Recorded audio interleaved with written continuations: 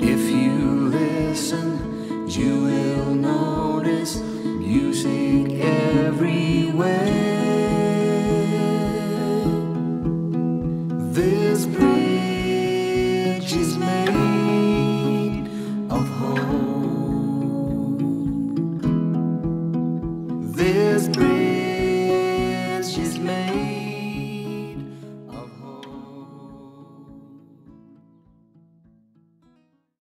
Wir schreiben das Jahr 1974. Das Ende der Oberndorfer Osterfähre rückt näher.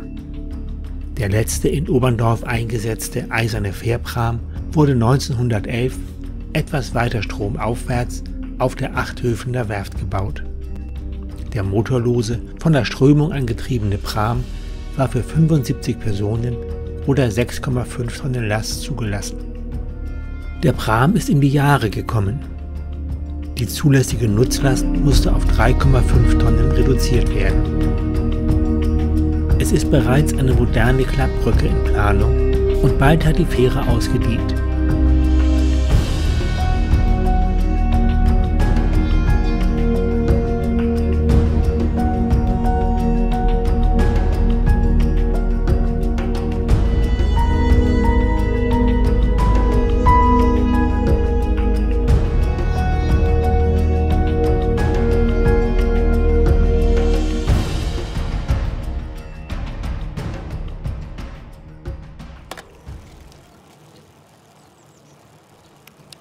Ortsdurchfahrt ist nicht geeignet, den Verkehr zur neuen Brücke aufzunehmen.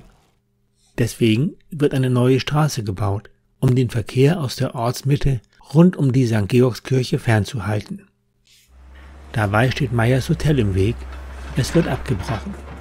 Es ist ein Spektakel für die Zuschauer, wenn die Baggerschaufel wieder ein Stück des Gebäudes den Abtransport zerkleinert.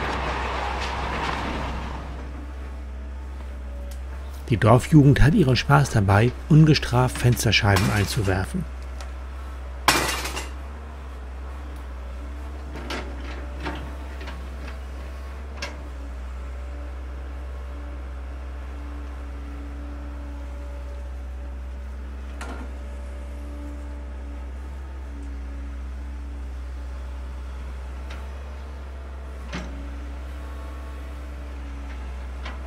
Im Obergeschoss wird noch einmal die halbrunde Decke des Saales sichtbar, unter der die Landjugend Theaterstücke aufgeführt und in der so manche Feier stattgefunden hat. Lange ist es her. Und jetzt ist es endgültig Geschichte. Ein für allemal. Denn der rote Bagger kennt keine Gnade.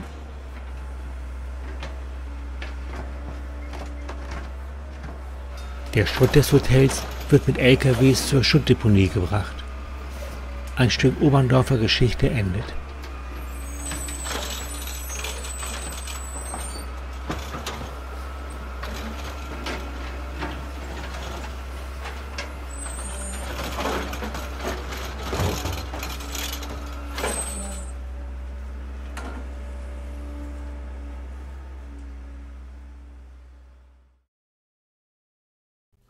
Jetzt wird die Flutschutzmauer in der Deichstraße geöffnet. Hier soll in Zukunft der Verkehr die Oste überqueren. Der Deich ist aufgegraben, die Presslufthammer dröhnen.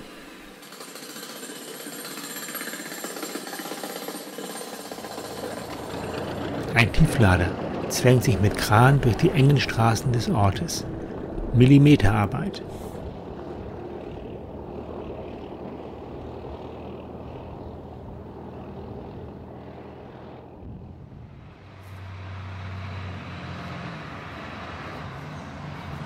Den ersten Rammschlag für die neue Brücke wird sich niemand entgehen lassen. Wer es irgendwie einrichten kann, ist dabei und hört die obligatorischen Reden.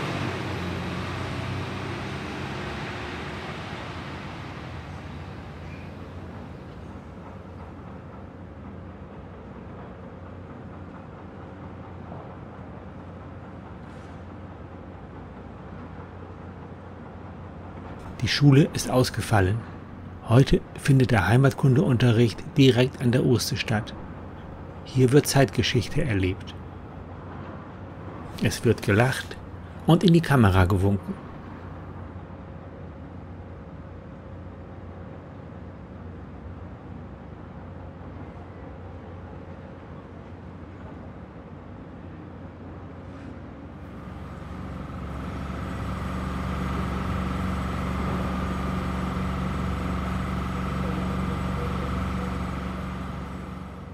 Wie immer bei solchen Anlässen nehmen die Reden kein Ende. Und dann ist es soweit. Der erste Rammschlag. Der erste Gründungsfall für die neue Brücke wird Rammschlag um Rammschlag in den weichen Grund der Oste getrieben, bis er auf einer festen Schicht Halt findet. Die Rammarbeiten auf der Oberndorfer Seite sind abgeschlossen. Jetzt wird das erste Brückenfundament gebaut während auf der Bentwischer Seite noch die Gründungspfähle gesetzt werden.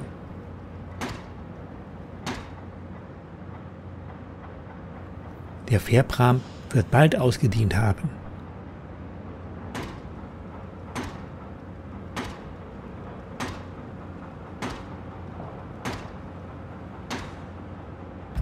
Die Arbeiten liegen gut im Zeitplan. Die Baufirmen kommen mit der Arbeit gut voran. J.D. Hahn und Ludwig Voss verstehen ihr Handwerk, sind sie doch die Spezialisten für Wasserbauwerke.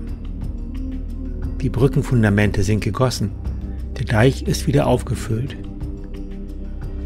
Die beiden feststehenden Teile der Brücke werden an Land neben dem Fluss vorbereitet.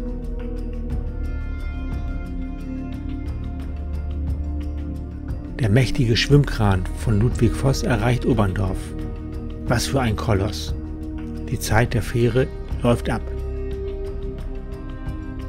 An Deck des Kranes liegen die mächtigen Gründungsteile für die beiden Brückenpfeiler in der Strommitte.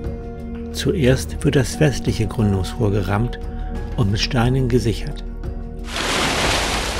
Dann folgt der Pfeiler auf der Bentwischer Seite.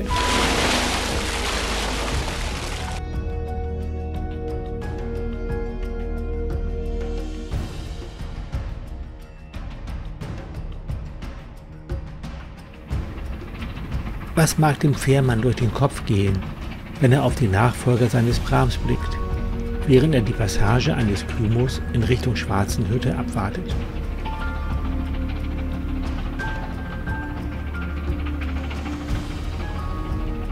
Unermüdlich wird an der Brücke gearbeitet.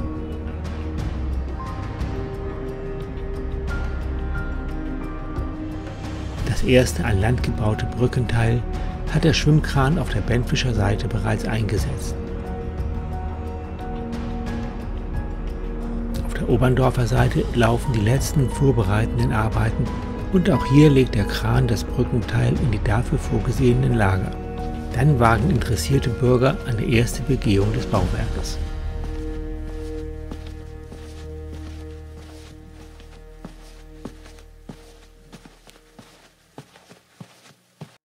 Die feststehenden Brückenteile werden fertiggestellt und das Bedienhaus der Kleppbrücke auf dem westlichen Pfeiler errichtet.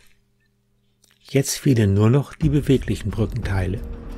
Zuerst setzt ein Schwimmkran das östliche Brückenteil ein, dann das westliche.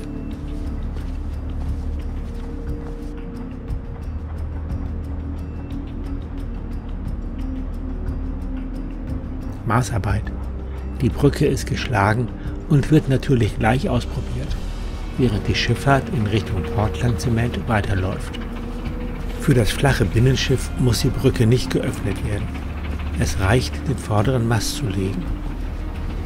Jetzt folgen ein paar Probeläufe der beweglichen Brückenteile.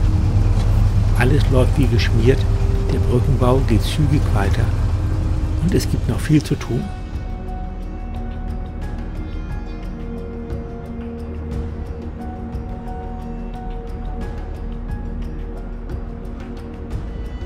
Vor der Brücke werden die hölzernen Leitpfähle in den Grund der Oster gerammt.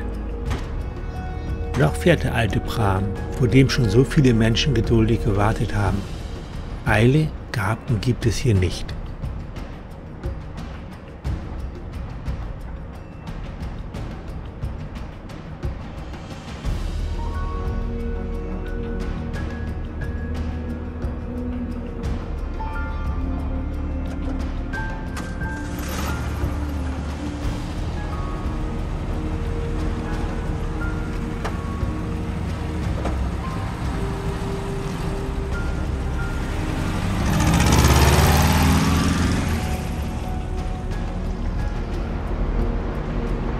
Die Oste ist eine vielbefahrene Wasserstraße, auf der größere Binnenschiffe und Kymus verkehren.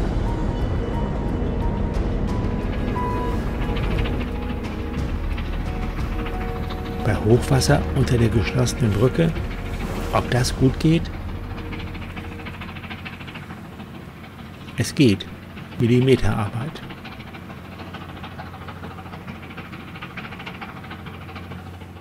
Die Straßenanbindung zur neuen Brücke wird fertiggestellt. Die Deichstraße wird im Bereich der Einbindung zur Alex-Reil-Straße verbreitert.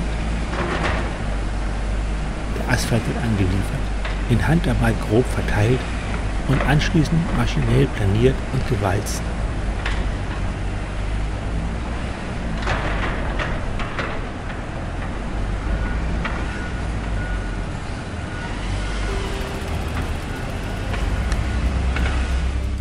Es ist Mai 1977. Die Brücke ist fertiggestellt. Der erste Brückenwärter nimmt seine Arbeit auf. Das geht natürlich nicht ohne ein anständiges Brückenfest. Es wird gefeiert, während der Pram nach 65 Jahren Betriebszeit sich auf seinen Ruhestand vorbereitet. Etwas Wehmut schwingt mit, als die letzten Fahrzeuge übergesetzt werden. Alles hat seine Zeit. Die Zeit der Fähren an dieser Stelle der Oste geht zu Ende. Die Klappbrücke ist fertig und geschmückt. Es fehlt nur noch die feierliche Einweihung. Reden werden gehalten, Hände werden geschüttelt und es wird applaudiert.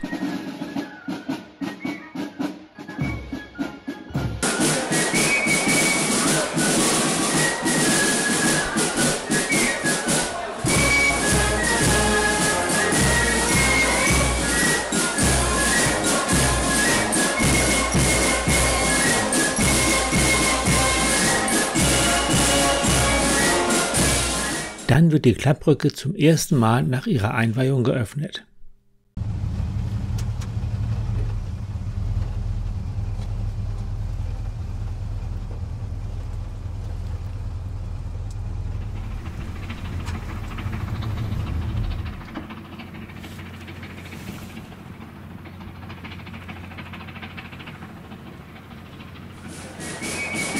Oberndorf und Bentwisch, beide Ortschaften und auf den Beinen. Der leichte Mairegen hält die Menschen, die seit ewigen Zeiten durch den Fluss getrennt sind, nicht zum ausgiebigen Feiern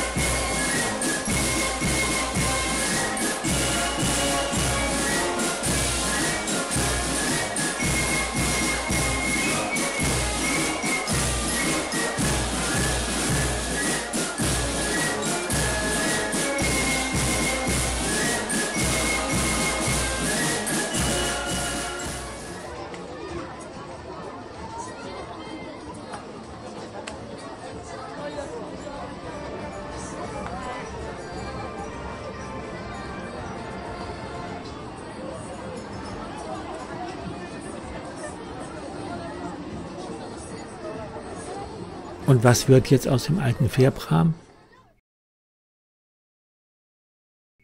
Er wird ein unrühmliches Ende finden. Er wird irgendwo im Deichvorland bei Sedlerheim vergessen und dort verrotten.